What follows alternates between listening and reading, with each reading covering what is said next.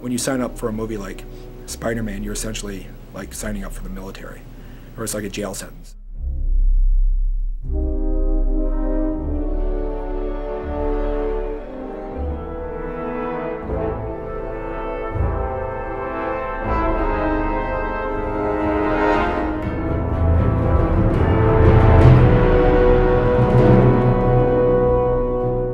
I had just wrapped up Spider-Man 1 like only a couple months prior, and uh, I didn't think I was going, going to be coming out until maybe a month before uh, production. But um, they shot some uh, background plates for the big train sequence in Chicago, and um, it was just a huge mountain of footage. You know, hours and hours of uh, 35 millimeter in Vista, and, and um, you know all, all kinds of different formats. And he just really wanted to get a jump start on basically sort of um, assembling the scene, starting with the background plates and then incorporating, you know, previses and animatics and stuff that they had already done. Sam actually started planning the scenes even as we were finishing Spider-Man 1. He was gearing up. We, we hadn't had a script yet, but he knew of some certain set pieces that he wanted for the movie. So um, even at the point that I came on, there, were, there was already quite a you know quite a few storyboards, hundreds of storyboards, and some some uh, some of the major shots had already been sort of prevised out in you know rough computer or uh, you know like animatic form. You know, taking the storyboards and like making moves on the boards. So the first thing I did was I took the scans of all the storyboards and everything else and just basically started building the sequence together, as if it was um, working with dailies. And um, by the end of the first uh, couple of weeks I was on, I had like you know a 10 minute long sequence cut, which was like a full reel of the movie. That cut basically was used to try to figure out what we needed to, to do in terms of shooting. You know, it, it, it's crude, but you really get a feeling of, of how the scene is working and progressing. So you can do a lot of planning before, you know, like storyboards are for, do kind of plan it out on paper before you actually commit to shooting things and, you know, and spending the money. And then, of course, then when you shoot it, a lot of things change, and you can't be too slavish to the animatics or storyboards because you know the, the, actors come up with stuff on the set or the stunt guys come up with different bits of business or of course Sam, you know, but it, it's just um, it's a good start for any scene. I've known Sam for years, and you know we share a lot of the same tastes in terms of uh, a love of horror and a love of suspense and a love of you know making the audience jump and scream.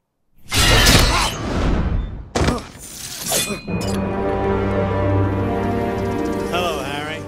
And just um, you know just a, a, desire to sort of put on a good show for the kids. Part of the fun process of working on a movie like Spider-Man 2 or even Spider-Man 1, that there, it, it, crosses so many genres. That you know, on one hand it's sort of a drama, and on the other hand it's a horror picture, and you know it's an action movie, and it's a comedy, and it's sort of every genre. Anybody here take shop class? well, what was nice about the uh, horror scene is I think that uh, the studio went for it, especially in a movie like Spider-Man, for it to take such a kind of a dark, gruesome turn.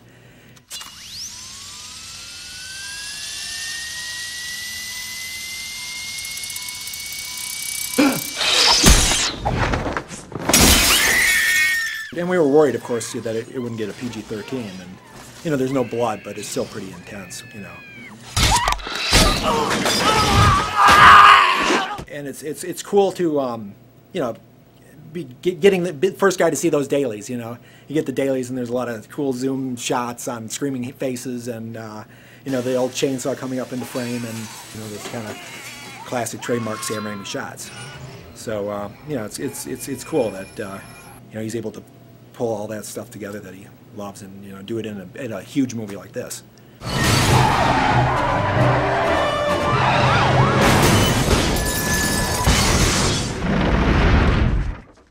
you always have to be aware of what you need to tell the story. I think it's, it's more important to um, that every shot in a sequence services the story and, and, and, tells the story to the its best way possible. And um, sometimes they have a maximum amount of impact. The shots need to be short, and you know I don't really see it as a stylistic thing as much as just sort of figuring out what's best for that given moment of a scene, what'll give the shot the most impact or, or, or that part of the sequence. It's keep, keeping the story moving and, and keeping everything super clear, crystal clear, within any given shot or moment. And then when you're in a dialogue scene, you know, I think the most important thing in a dialogue scene is uh, knowing when not to cut.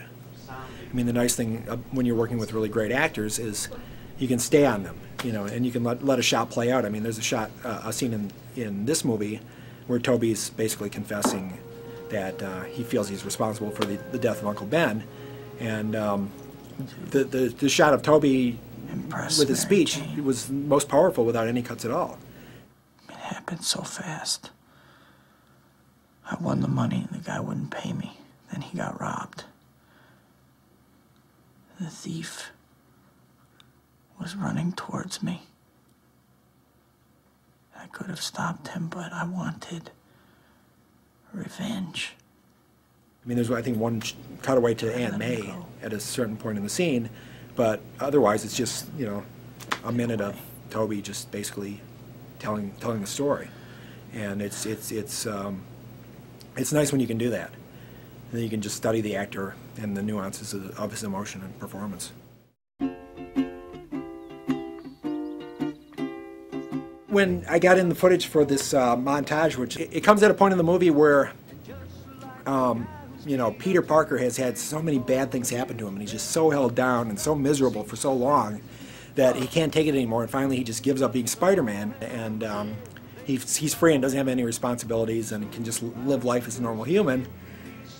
It was like the first piece of music I went to for whatever reason, and I, I cut it in. I put the scene together, and, and I did actually hadn't even didn't even really cut the scene to it, and I went home and got the CD. I thought I'm going to put that raindrops keep falling on my head because it's just like the epitome of these kind of scenes. And for some reason, it, it just really worked. You know, it just it, it it caught all the cuts in some magical way. I mean, there were a couple cuts that I needed to like adjust like a frame or two. But pr- pretty much the, the version of that scene that's in the movie is like the very first cut of that scene. Sorry. and feels like a, a, a huge amount of weight has been lifted off the character. And for the first time in his li- life since he's become Spider-Man, he's just truly free and, and has no worries in the world. I hope it's uh, going to be, uh, you know, introduced to a new generation of moviegoers who can be tortured by it as much as I was when I was a kid. Nothing's worrying me. Sam actually works, we work pretty closely together.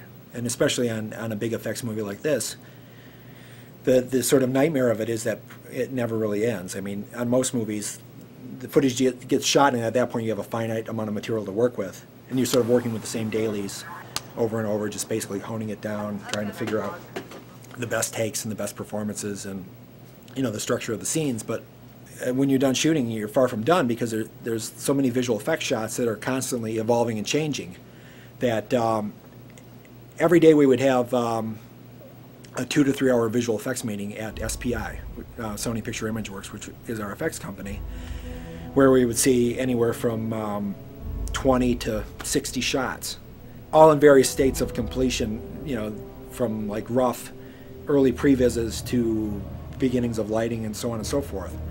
So we were constantly having to give feedback on those shots. Every day was like getting new dailies and then having to bring back those 20 to 60 shots, cut them into the movie, and see how they worked, you know, within within the material that we already had.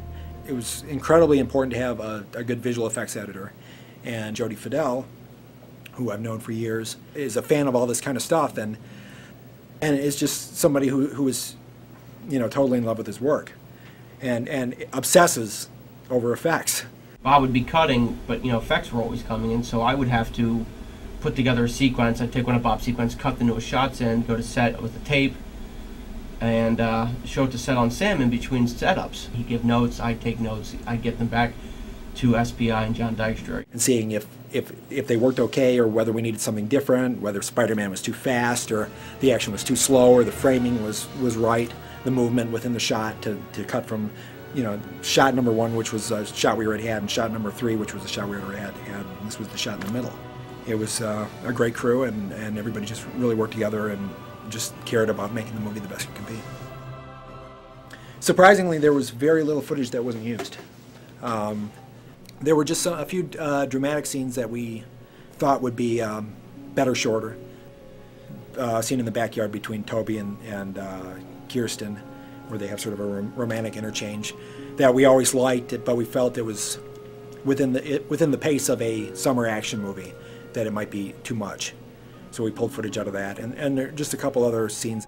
There's another scene between um, Peter Parker and the Russian girl who lives next door, the girl Ursula. It's a scene I always liked, but um, it didn't really fit into the end of the movie. Whoa! In a movie like this, there's no corners cut in terms of you know getting what you need to do the job correctly, and then everybody sees it. So it's it's, it's really gratifying on, on that level, and just being being able to go to the theater when it, the movie opens and hearing the reaction of the audience, which is you know kind of what it's all about, you know.